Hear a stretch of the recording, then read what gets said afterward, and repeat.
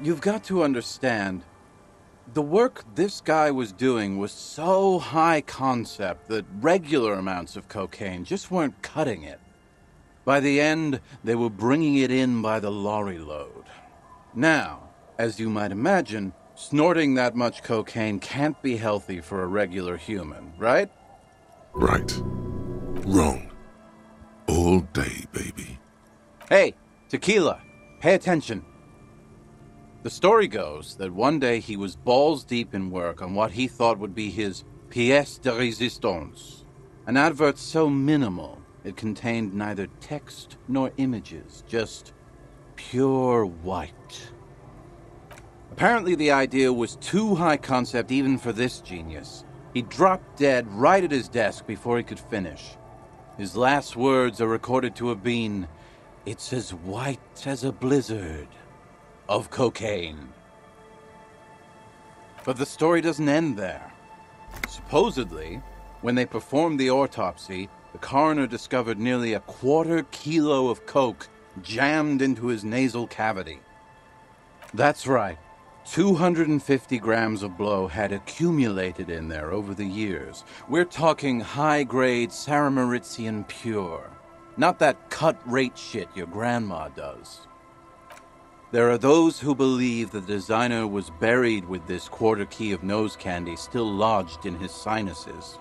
That's what those expeditions are looking for. The cocaine skull.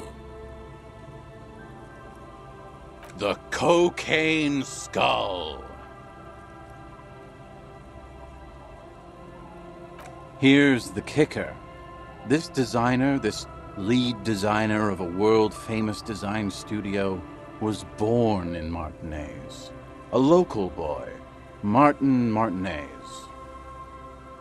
That's why he brought his studio here, back to where it all began. And that's why they buried him here, too.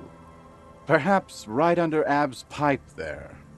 Or probably further down the coast, or in some yard in Martinaise proper. A hidden mausoleum, no one knows exactly. No, my grandma always told me his grave lay somewhere on the islets on the bay. This is ludicrous and physically impossible. Sinuses can contain that amount of anything. Now, now, detective. Always the skeptic.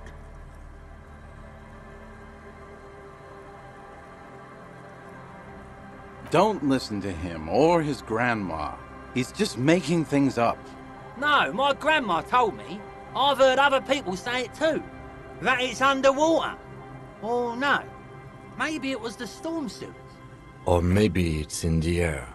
Or in an ancient state pyramid offshore. In a pyramid? Now that would be something.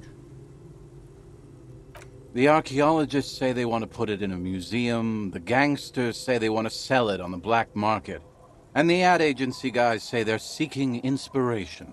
Bullshit. They just want to snort it. But you could beat them to it, Harry. You could snort the magic skull cocaine instead. I'm pretty sure they all just want to snort it, though. And why wouldn't they, eh? Sounds like right strong stuff. Whoa, whoa, whoa. Hold on just a minute. Finding it right now is literally impossible. What? For one, the way is blocked by that big lorry that says Delta Logistics Company on the side. You definitely have to search the area behind that lorry, too. Yet, it is impassable. And second, outfitting an expedition like that is expensive. It'd have to be a big production to do the cocaine skull justice. You need new gear, people who know what they're doing, all kinds of provisions. It's just not feasible within the economic and temporal frame of our current setup. Matter of fact, unless a bunch of money just falls out of the sky, we might never know what's up with that skull. I have to agree. We barely have what we need to solve the case we've got now.